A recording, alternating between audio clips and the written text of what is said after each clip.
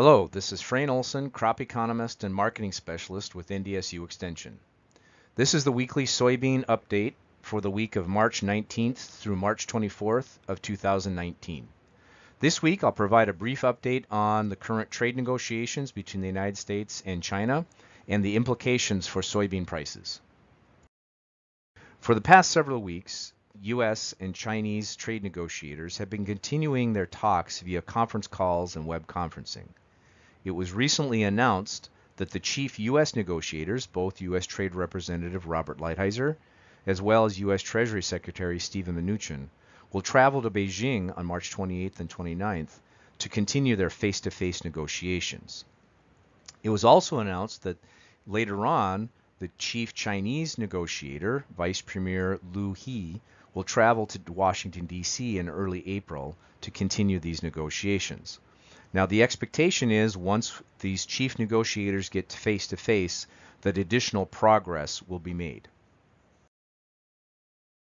There have been a variety of reports released trying to indicate the timing or the timeline for some kind of an agreement between the US and China. The Wall Street Journal reported the talks between the US and China are, are in their final stages, with a target date for an agreement by the end of April. Earlier, the South China Morning Post reported that a meeting between President Trump and President Xi may need to be pushed back into June. And the one consistent message is this enforcement mechanism to ensure that the Chinese fulfill their side of an agreement remains the key issue that needs to be negotiated. Late this week, President Trump said negotiations are coming along nicely, but says if an agreement is reached, the U.S. tariffs on Chinese goods may remain for a substantial period of time because China has had problems living by certain deals. Now, I believe what President Trump is referring to is the terms of the agreement that China made as they entered the WTO several years ago, and that some of those uh, provisions have not been followed through on. So, again, bringing up this concern if the U.S. and China do reach some kind of an agreement, will China follow through on those terms. Now, President Trump's statements are slightly different from other statements coming out of the Trump administration, which says they want to have the option to impose tariffs on Chinese goods if they're if they don't abide by the terms of an agreement. So again, slightly different language. Are the the current tariffs going to stay in place until the Chinese prove that they're going to follow through on the agreements, or will the existing tariffs be reduced or eliminated after an agreement is signed and then be reimposed later on if the Chinese are not following through on those agreements. Late last week, it was announced that China had purchased 23,846 metric tons, or approximately 52.6 million pounds of U.S. pork. And this is despite the current 62% import tariff on U.S. pork entering China. Now, the speculation is that these purchases were due to reduced pork supplies in, within China due to the African swine fever. So just to bring everybody up to speed, so far there's been 111 confirmed cases of African swine fever in China, spanning 28 provinces. So this is a very large and very widespread problem across China. It's not just an, an isolated pocket. The current estimate is that there's been a 16.6% drop in the entire hog herd from February 2018 to February 2019, or the 12 month period, which is very substantial when given the size of the Chinese hog industry. In addition, current estimate is that there's been a 19.1% drop in the sow herd or the breeding herd from February 18 to February 19.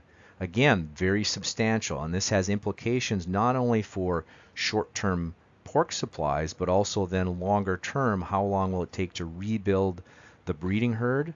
And what does that mean for imports of soy and the crushing into soy meal for the hog industry? Again, what's the demand base for soy and soy products within China? So what's been the market response by traders with all this new development and new news? Well, to be very honest, most market traders are getting a bit tired of the rumors of increased Chinese grain purchases. And again, there's been a lot of rumors floating around. And in the past, we've seen slight price recoveries when these rumors came out, but that's not happening anymore. Most traders now are waiting to see if confirmed Chinese purchases of U.S. grains before there's kind of any price movement or price recovery. Now, in previous announcements, China has promised to purchase an additional 10 million metric ton of U.S. soybeans, and some of that has been happening. So if we look at this most recent marketing year from September 1 of 2018 through the most recent USDA um, export sales numbers of March 14, 2019, China has purchased 11.2 million metric ton. Now we compare that number to the same time period last year, from September 1 of 2017 through March 15th of 2018, China had purchased 28.5 million metric tons. So again, current purchases well behind the pace that we've seen in the past. So again, I don't expect any major price recoveries or major lifts in the marketplace until there's actual confirmed purchases that China has bought additional U.S. grains. Now, one of the other things that's starting to move into the marketplace is some concerns about this wet spring weather. Again, there's been a substantial snow as well as rain, not only in the northern plains, but also in the Midwest. Um, there's obviously been flooding not only in Nebraska, but also in Iowa, which is raising some, some concerns about potential planting delays come this spring.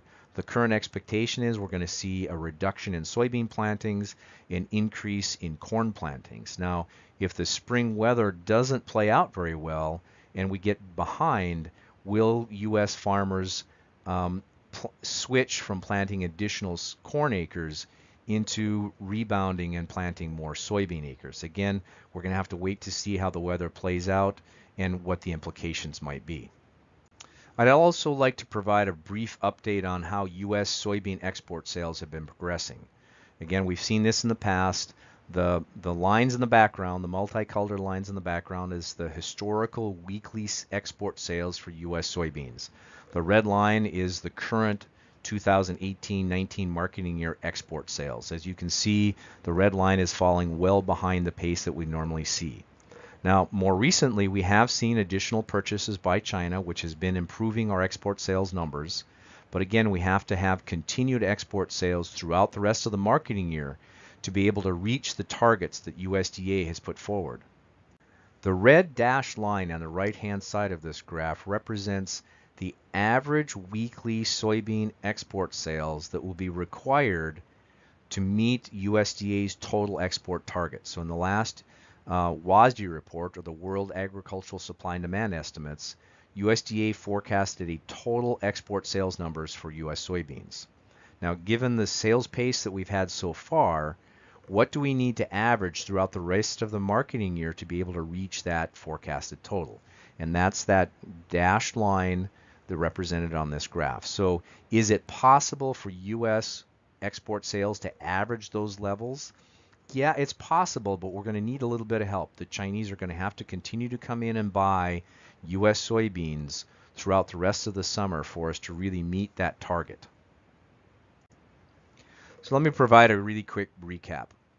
As I've said before, the timing and the structure of a trade agreement between the United States and China will have an important impact on both old crop or 2018 as well as new crop 2019 soybean prices.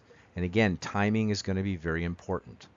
It's very unlikely that China will come in and make large purchases of U.S. ag products like they have promised to do until after an agreement has been signed. So when will that be agreement be signed? Will it be in in late May? Will it be in June? Again, from a marketing standpoint, this is going to have a pretty substantial impact on price movements throughout the summer. So what I'm really recommending is please set some price targets for additional sales. It looks like this trade negotiations may last a bit longer than we first originally expected, and therefore you're going to have to set some pricing targets as well as some timing targets to be able to meet your cash flow needs as well as make sales at prices that you feel are acceptable. One caveat or one wild card in all this, of course, is the weather and the weather conditions during spring planting. Now, that may provide some short-term pricing opportunities, especially for corn, if we have some late planted corn or if there are some delays in corn planting. Again, the concern would be rather than an increase in corn acreage with a decrease in soybeans, we may not see that large a shift. could be positive for corn, potentially negative for soybeans. Now on the flip side, if the weather does turn, we have adequate soil moisture, we have a really nice spring, planting progress is very strong, we actually may see an additional increase in corn acres and additional cut in soybean acres. So again, the weather conditions and the timing of planting progress may provide some pricing opportunities, but again, they're going to be very, very short-lived. So please set your pricing objectives, make sure you put some orders in place so that when those uh, pricing objectives are met, you've been able to make some sales. This concludes this week's update. Please feel free to contact me if you have any additional questions, and thank you for listening.